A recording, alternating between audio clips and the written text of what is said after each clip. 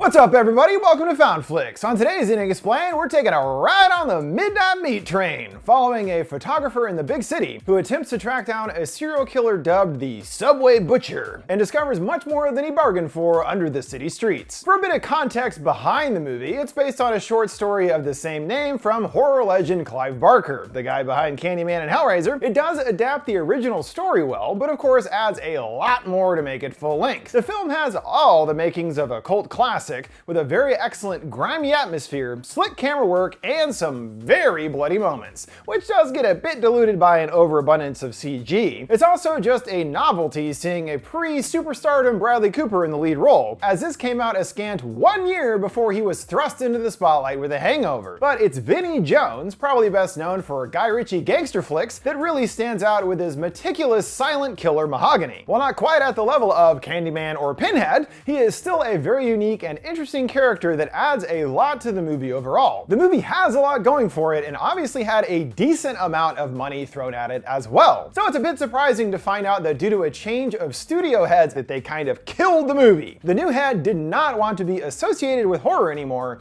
and cut a lot of the movie down to get an R rating, and it was only released in a few dollar theaters, kind of just wanting it to disappear completely. Fortunately, over the years, people were able to find the movie on home video in its uncut form, as the theatrical cut is more or less gone for good, and it has grown in appreciation since its botched initial release. So let's check out the Midnight Meat Train, breaking down the story, as well as digging into the mysterious Butcher character and what we learn about him, as well as explaining the surprising gut punch ending, and comparing it to the original short story, which gives us a bit more context to what's going on. In the always dangerous big city, a snoozing guy gets to experience a whole new kind of terror. He wakes up finding that he's all alone and suddenly slips on a pool of something. Yep, blood. Indeed, the entire floor is matted in it. He slips and slides on the slippery liquid and walks towards the next car. There's more blood-soaked carnage in there, seeing someone goring another person on the ground. This is our first indication of the Butcher Killer's presence,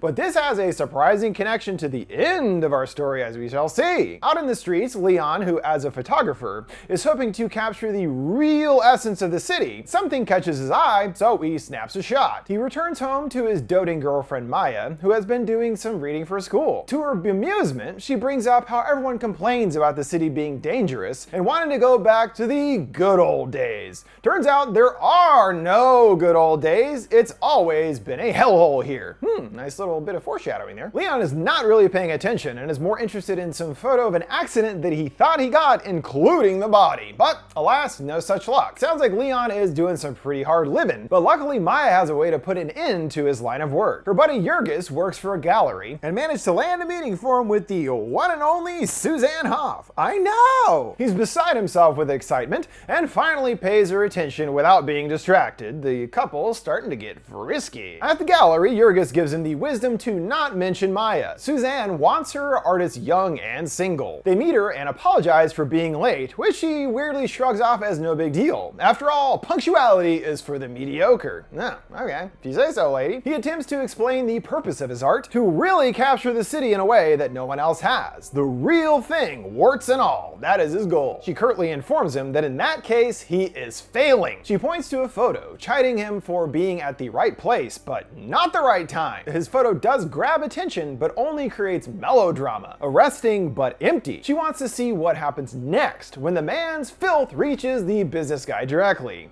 Thusly, she encourages him to stay on it and be brave the next time it happens, and then come back to see her. That night he has a dream back on the nightmarish train with hooks instead of handholds. Leon shoots awake, and this strange dream inspires him to set out into the night. There's some homeless folks wandering around along with some hooligans causing mischief, but nothing too revelatory really. He follows the kids to a staircase leading down to the subway and finds them there harassing a girl. She locks eyes with Leon, and he shouts for them to stop. The kid asks him what he's gonna do, Leon goading him to come up and find out. He keeps taking photos as he ascends the stairs and at one point directs him to stop. He shows him a security camera there that captured the entire incident and he stops even closer, getting right up in Leon's face, but turns back telling the others it's time to go. He checks on the girl and she cannot believe what he did as most people would have just run away. He humbly mumbles that he didn't this time and she gives him a big appreciative kiss. She rushes off to catch her train, Leon still snapping shots as she gets on board. Someone puts out a hand to open the door for her and she hops on. There's only more danger awaiting her on the train, finding herself all alone in the car, that is except for one lumbering suited figure behind her. She pops in some headphones and doesn't hear as he stalks right up to her and bashes the side of her face with a hammer. In the morning, Maya sees his photos from last night, demanding that he has to show them to Suzanne. This is what she wants. She also hopes that if it isn't this, she never wants to see what it is. Leon stops by the diner that she works at, and we find out that he's vegetarian, having to hassle the line cook to grill him up some tofu. In the paper, he's shocked to see a missing report on a young girl, Erica,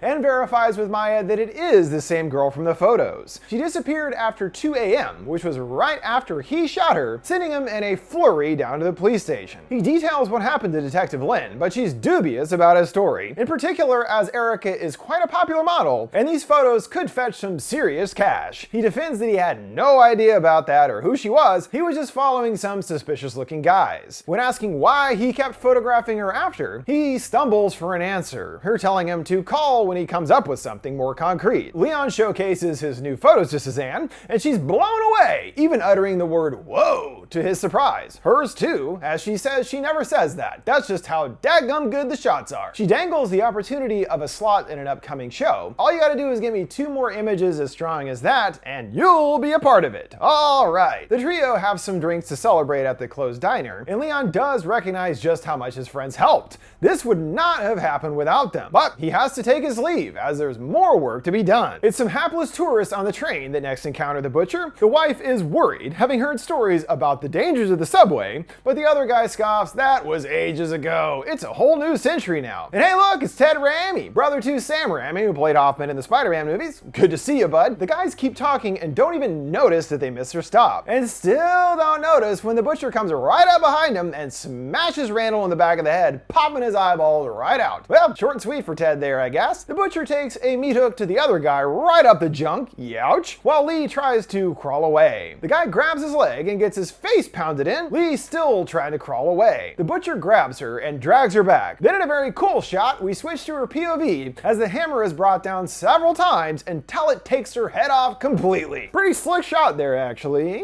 The butcher takes the escalator to the surface level and happens to run right into where Leon is chilling. Immediately intrigued by the strange figure, he starts to take some photos. Leon decides to follow after, and the butcher can feel him behind him, coming to a complete stop. Leon attempts to casually pass him by and gets grabbed, noticing a star symbol on his ring. He weakly apologizes, saying that he just wanted a picture, and the butcher does let him go, stomping off towards the nearby Hotel Barclay. At home, he compares the pictures of Erica to the man and realizes that the ring matches, meaning that he must be behind what happened to her. The butcher freshens up in his room, donning a fresh suit, and I'm like, man, the dry cleaning bill must be a disaster for this guy. Coops has been waiting all night for him to come out and decides to see where the butcher is heading next. He zigzags through some buildings and alleyways and comes to a meat packing plant. Leon sneaks in, seeing several guys working the line, also including our butcher. He quite appropriately works there. Leon stakes out again until nightfall and the man leaves. He saunters down to the subway and takes a seat on the bench watching as the trains pass by. Hours pass, hundreds of people going on about their lives, and he doesn't move a muscle the entire time. Another train arrives later, and this appears to be the one that he's been waiting for. Leon attempts to follow after, but gets stopped by a cop wanting to see his camera, and as a result, he loses the butcher. He's joined on board by another big boy who fakes him out,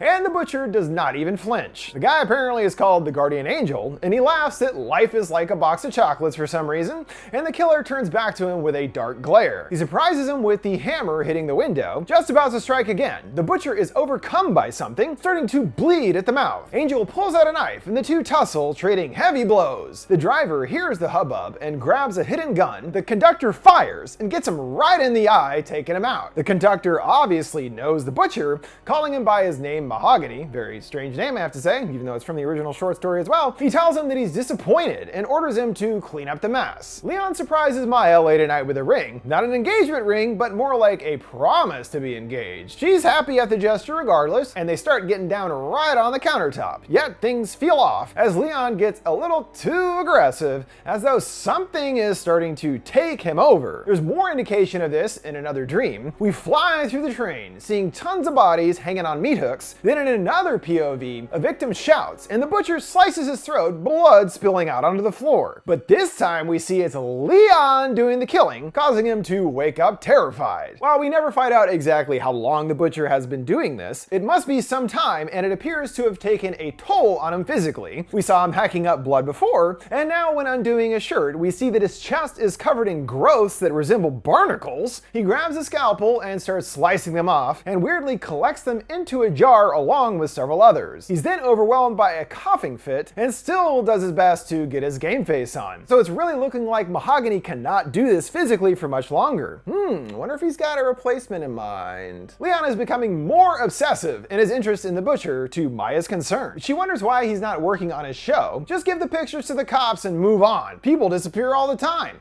and she's sure that they'll figure it out. But he is not intending on giving up and digs deeper at the library into cases of missing persons in the city. They go all the way back to 1895, and there's an article regarding a butcher being held in relation to several killings, implying Mahogany could have been working since all the way back then, especially as it's the same plant he works at today. Thusly, Leon heads back to the factory, but this time dons a uniform to go undercover. He watches rows of dudes carving up meat. Amongst them, the butcher is there on the line and turns right to face him. Leon quickly hides, but he's already been made, the butcher staring right at him. He flees into a meat freezer, a maze of rows and rows of carcasses. He evades the killer and takes cover behind a cow. The butcher leans under and just in time, Leon uses a hook to raise himself off the floor. Didn't help too much as the butcher is simply there waiting behind him. Oh, hello. He sprints through the meat and makes it back outside, hitching a ride on the back of a truck, the butcher watching angrily as he gets away. He joins Jurgis at the diner in the middle of chopping down on a steak, both him and Otto agreeing that he looks like shit. To everyone's surprise, Leon samples a piece of the meat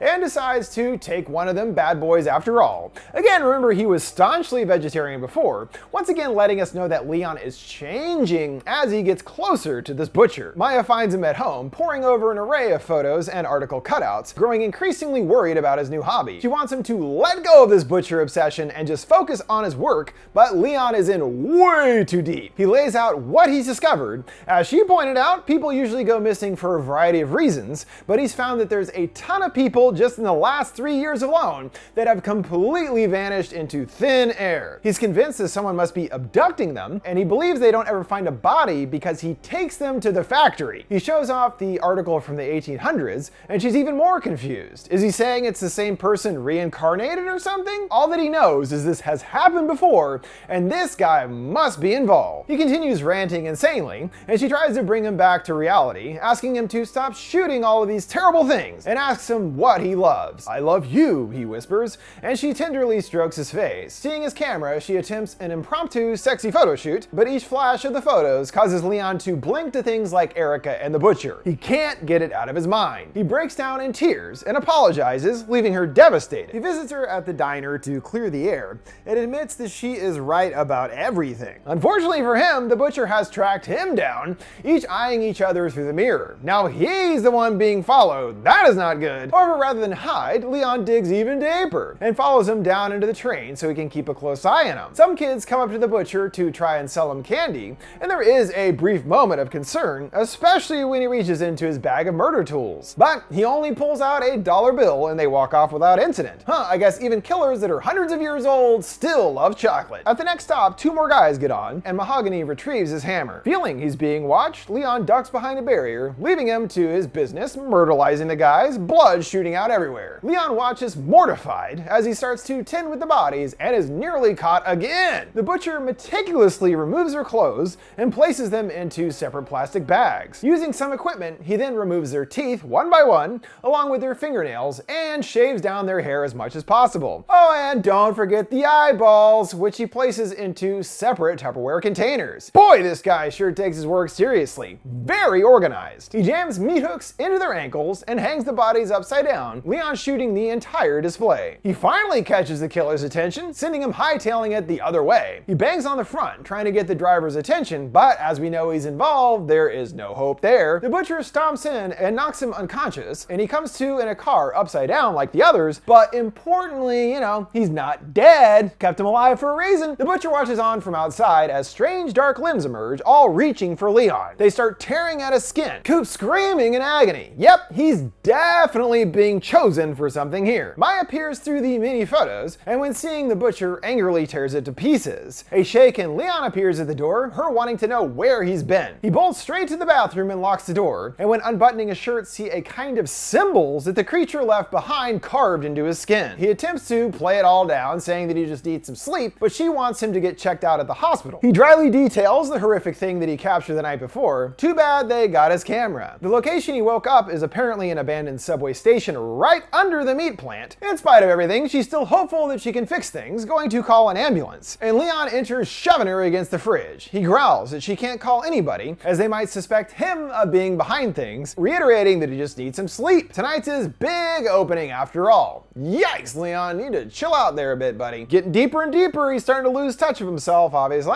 Showing just how much she cares about Leon, she enlists Jurgis to investigate his crazy story. And they do at least have a lead to go on, the hotel that he was seen at prior. Jurgis thinks they're just as crazy as he is, but she disagrees. They need to get his camera to verify what he saw for certain. The butcher leaves his room, and they Scooby-Doo sneak down the halls after he's gone. They use the good old credit card trick to pick the lock and begin to snoop around inside. She discovers his barnacle collection, and we float back to the front where the butcher has returned home, going right for his trusty mallet. Jurgis finds his closet full of identical black suits, and on the last hanger is Leon's camera. He straps it on just as Mahogany enters, raising his hammer ready to attack. Maya runs out into the main room, noticing the bag that wasn't there moments ago, and decides to dig around inside. She finds an old folder containing old subway schedules with specific times circled going back for decades, which could be a record of the butcher's many kills. She goes in search of her pal, Mahogany waiting patiently with his dripping hammer in the closet, but she wisely decides to split instead. Sorry, Jurgis. She then meets with Detective Lynn, inquiring about her friend, but things aren't quite adding up. Lynn claims that they went to the room and examined the place, but there was nothing there. In fact, Lynn turns things on Maya, saying that she took an heirloom of the tenants that they want back. She now really grasps the importance of the timetable, that it traces every murder back the butcher has done,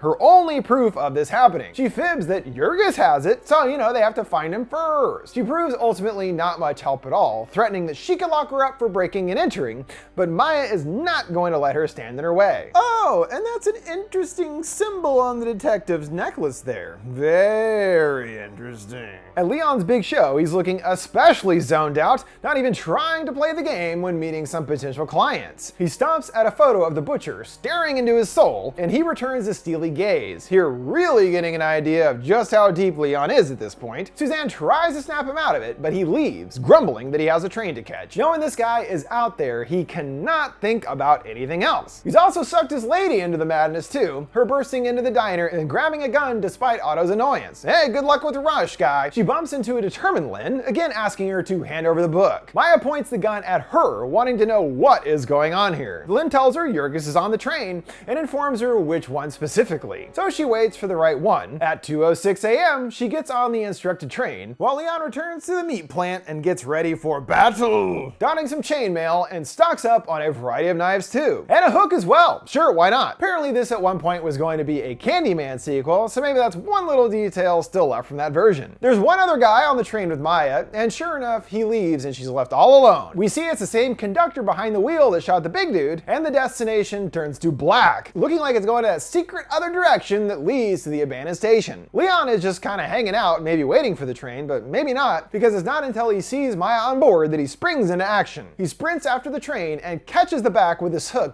barely making it on. Maya enters another car filled with several hanging bodies, amongst them is a still alive Jurgis. The butcher is busy still tending with organizing the people's belongings. Hmm, might be a little too meticulous there. How long does that take exactly? She attempts to get Jurgis loose, but the hooks only dig in deeper. His pain yowls alert the butcher, and she goes for the gun, but isn't exactly a great shot. He launches the hammer, getting her in the leg, and then stands over her ready to swing. Leon shouts out, which stops him. The butcher smiling in recognition when seeing him. Both are ready to fight, and they rush towards the other. Maya gets him with a bullet, but it becomes lodged in his chainmail to no effect. The two throw down, landing some extremely hard punches right in the face. Leon gets his leg yanked, and he retaliates, stabbing him with a limb. Still pummeling each other back and forth, we spiral around on the subway as it changes lanes towards the abandoned stop. Leon defends himself from a face stab with his hand, and the knife winds up in Jurgis, the butcher deciding to finish him off, unleashing a waterfall of blood. Seriously, that's a lot of blood. Leon uses the hammer against the butcher to break his grip on the door and manages to knock him right off the train. The two embrace, and things are okay for the moment until the train ominously comes to a stop. The conductor steps out, instructing them to step away from the meat, noticing some movement in the light through the windows. Screeches echo out, and several demonic creatures emerge, descending hungrily upon the offering of flesh. Well, I guess it was these guys they were feeding the whole time, and also apparently don't like fingernails and teeth and whatever, too many crunchies. Mahogany is not done with Leon, tackling him and getting his chainmail off. Leon tries to fling a skull at him, only for him to catch it. Then showing his clear superiority, he throws it right back and smacks him right in the head. They struggle once more, and when seeing his open shirt, Leon recognizes the symbol on the butcher's chest as the exact same on his own. Yep, you've been enlisted to become his replacement. Leon pulls out a knife and stabs him, and follows it up with a jagged bone right through the neck. This stops the butcher in his tracks, gasping weakly for air. And for the first time, Mahogany speaks, croaking welcome just before slumping dead. Just to make extra sure he's a goner, Leon jams the knife right through his head coming out of his mouth. Yeah, that'll, that'll probably do it. The conductor brings Leon up to speed of what's going on here. Mahogany could not do his job anymore, as we saw with the coughing blood and barnacles. It must be that the butcher roll wears on the body over time to the point that it can't work anymore,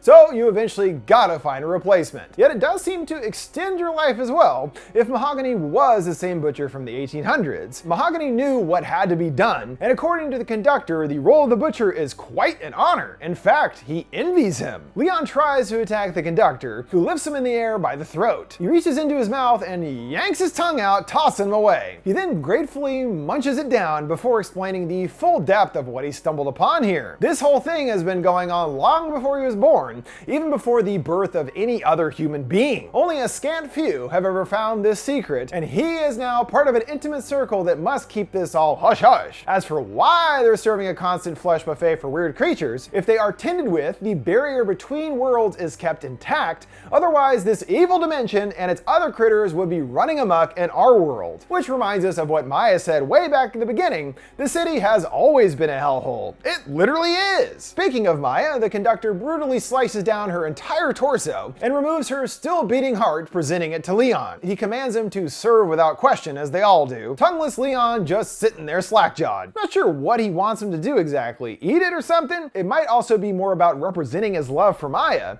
Now he is forced to let it all go for good. I always remember the first time that I saw this and was genuinely shocked with how things turned out, especially with how Maya was so coldly dispatched. I was like, whoa, dang. And then of course, Leon taking the role as the new butcher. Pretty tragic as well. But then I also considered he kind of did it to himself in a way. He was so desperate and obsessed with finding the darkness in the city, and he sure found it. But it was at a level that he could not have imagined, obviously. This all also kind of paints Mahogany in a different light as well. Sure, he was murdering tons of people all the time, and that's not cool, but now we know he was kind of forced to do it for the greater good in a way. His actions were technically actually helping the people and keeping the evil at bay. That's kind of interesting. Things conclude with Leon taking on his new duties, donning a suit and the star symbol ring. Lynn hands over the recovered timetable, letting us know with certainty that the police are also involved in this whole crazy cover-up. She even has a matching symbol necklace to really hammer this home. He stops at the sight of a picture of him and Maya in happier times. Well, that's all gone for now, buddy. Time to get killing. He then boards the meat train, coming to the guy asleep from the very beginning. So what we started with was actually seeing Leon's first night as the butcher, and he turns impactfully towards the man. You know he's gonna die. Now, when it comes to the original short story, things turn out essentially the same, but there are a few extra little details that really help to flesh things out. It's the same sort of ideas that we see in the movie, but maybe take it a little further out there. As for the creatures, they are actually degenerate humans, and eating human flesh provides them with immortality. They serve an evil entity known as the Eldritch Abomination, who has been around since long before the very first humans. These creatures, or city fathers,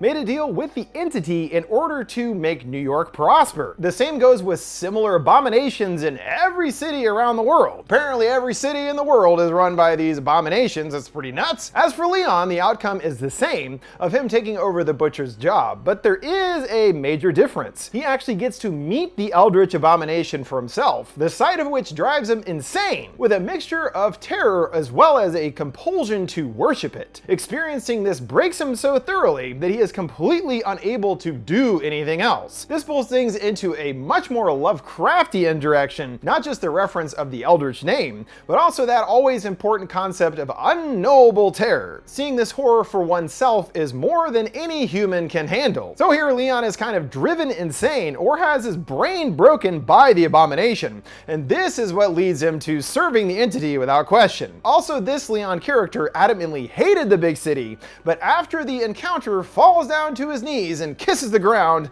swearing his loyalty to the city. Again, same basic kind of outcome, but with a way more out there cosmic twist to things that fills in, you know, a couple more gaps in the story. With that, we have reached the conclusion of this Ending Explained for the Midnight Meat Train. Don't forget, before we go, you can send me requests for any movies or TV shows you'd like to see me explain by sending them my way on any of my social media accounts at FoundFlix. What did you guys think of the Midnight Meat Train and its ending? What's your favorite Clive Barker related flick? Let me know your thoughts down in the comments below. Make sure to like, subscribe, and follow. Thanks for watching FoundFlix. See you next time.